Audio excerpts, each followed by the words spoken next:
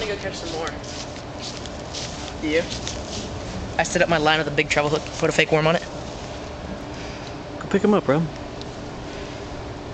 Here. It's a frog. What are you scared of? You want to sit along. Pick him right up. Don't poke him. Pick him right up. How do you pick him up? Right, right behind his back Yeah. front legs. right behind his, right in front of his back legs.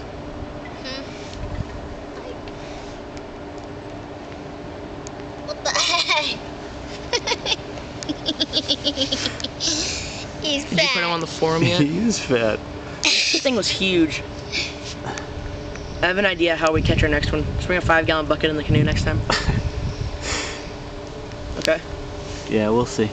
And you go in that back pond. I want to go fishing. Go give him a smooch. Maybe he's a prince. No, I've already kissed a frog. you did? Yeah. Did you get all your work done so he's working right now? Me see them them big old feet. Lift them up. Hold them up higher. right by your face. No, What are you Yeah. feeding him? Not feeding him anything. Or not? because he's too Feed them small neighbors' kids. Or big neighbors' finger. kids. Yeah. Small neighbor kids. He's so big. It's weird. Apparently they can cause food poisoning. What are you talking about? Frogs can. What are you talking about? My dad said he read an article where frogs can cause food poisoning. That's crazy talk. This isn't a frog though, it's a bullfrog. Look at his feet. Dang.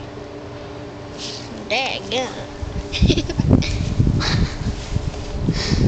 What could we bring in the canoe with us Give that him, we a, could hide give, him him, give him a big smooch, Rob. No! Come on.